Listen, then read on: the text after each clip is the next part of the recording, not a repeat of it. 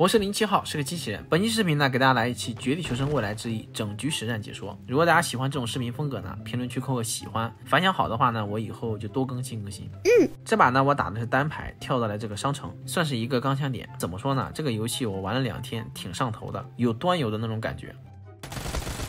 脸上解决了一个，看名字呢是个老外啊。现在呢，到商城里面了，附近是有脚步声的，应该有个小伙子。咱们先上二楼，具体他在哪呢？不是很清楚。大家可以发现，这个游戏的楼梯呢都是自动的，蛮有意思的。哎，看到了，这小伙子就在我楼下，咱们卡一手他，看他上不上来。看我这波操作，趁他扔投掷物呢，直接跳上围栏给他拿下。这小子啊，肯定也是非常的懵逼。上升出来以后呢，我就转移到了一个房区，前面听到了车声，我呢也没有迟疑，直接就过去莽了。爆了一枪头，没猜错的话，这小子应该要上楼。咱们给他来个预判雷，相信我，这一波雷响，他肯定没了。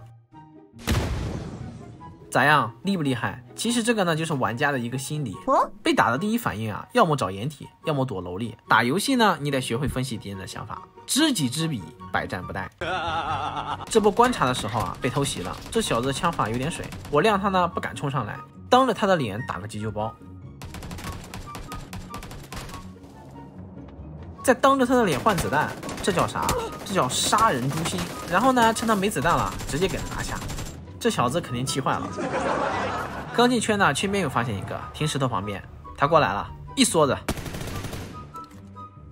再来一梭子，打残了，直接拿下。可以看到这游戏的对枪打击感啊，是特别的足。嗯，决赛圈的人头呢，可以说都是捡的。这俩敌人都不知道我在哪，就被我给拿下了。现在呢，场上就剩最后俩了。不过这俩小子的玩法几乎一致，哦，无掩体横拉，然后呢就躲在了这个围栏后。可惜的是，这个游戏的围栏是可以被打坏的，所以最后呢，我也是凭借着我完美的位置成功掐击。当然了，我的枪法也是非常的棒。